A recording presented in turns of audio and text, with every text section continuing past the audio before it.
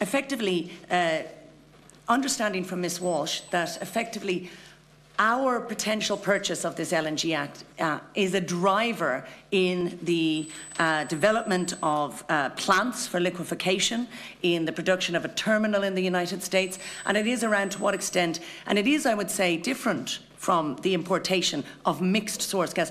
Effectively, LNG terminals, as I understand it, can only be used for LNG. So this is us specifically prioritising and investing in the global infrastructure around liquefied natural gas. And I'd just like a comment as well in relation to not just how that weakens the local campaigns in relation to fracking, but on a global level, and perhaps the, the colleague from DCU might comment on this, given that the United States seems to be intent on withdrawing from the Paris Accord and the Paris targets and the climate targets, are we effectively facilitating actions which won't necessarily fall under the climate but will accelerate action, Thank um, both in terms Professor of McMullin, I'm going to bring you upstream in on that impacts very briefly. and global target ver- reductions. And again, uh, like others I've been struck, 90 million is peanuts, and, and I've been very struck uh, by the fact of, given the many areas, the many sectors affected, the many strong cases being made about areas that will need transition support, that the 6 million Just Transition Fund, when compared to the 650 million envisaged in the case of a no-deal Brexit, it's very striking the difference in terms of that. Obviously, the timing is different. But my core question to you um, is, while there's uh, differences of opinion, as you've heard uh, around the issue of the extent to which uh, carbon taxing is uh, incentivises or engages with behavioural changes.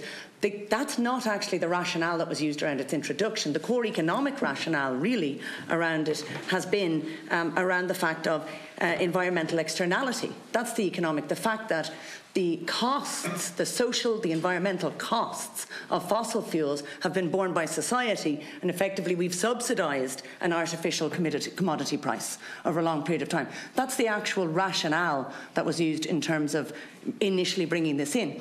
In that context, given that that's the rationale, shouldn't it be the case that every penny of the carbon tax, not the increase, which is attached to an incentive logic.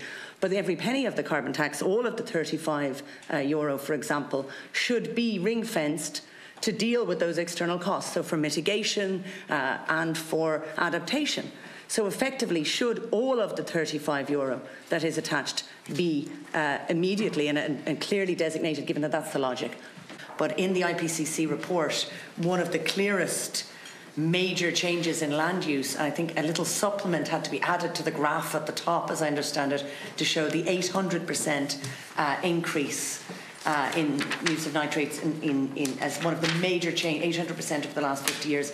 So perhaps I'd also appreciate, and I'll group my questions, but if you could come back in terms of just how urgent addressing that issue is on the global level. Um, because it's a huge outlier in terms of the, it's one of the major interventions. It's more than four times any other single change has been the increased use of nitrates. And again, um, while I'd appreciate, and I won't uh, make uh, ask Mr. Callaghan to go ahead around the various ameliorating measures again i don't need to have those outlined again but specifically wondering what is or is there a timeline or pathline in terms of ireland moving away from looking for derogation in relation to uh, the issues of peatlands were identified as one of the highest core uh, ways that we can store carbon.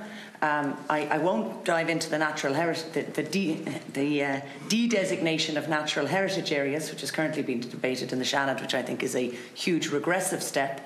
Um, simply speaking about those those uh, peatlands which are already not covered as natural heritage areas, which have been drained um, either for agricultural use or drained for forestry use? Are there plans around the restoration of some of those? Um, and, and what's the, the scale in terms of uh, the planned restoration of those to a peatland function and to that carbon sequestration function? And in, I think, section B4.3 of the IPCC report, natural vegetation restoration is mentioned as something uh, that's important. And of course, pollinators have a key role in that. So I guess that question of how does the National Pollinator Plan, how does pollination feature in the plans that we're hearing about around land use. It's obviously crucial in terms of uh, the restoration of natural vegetation. It's crucial in relation to um, uh, our ecosystems and our forests, but it's also crucial then in relation to horticulture, which has been mentioned previously. So, in terms of on a global level and on a national level, how are we kind of prioritising actions around the pollinator pathway and their intersection.